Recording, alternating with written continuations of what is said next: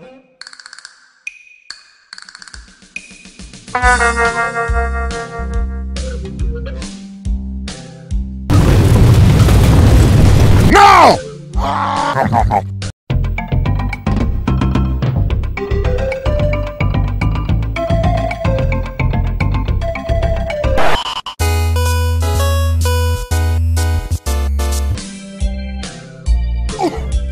Commander Shepard.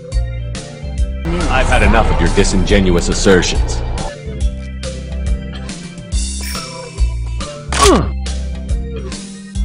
God save the quail!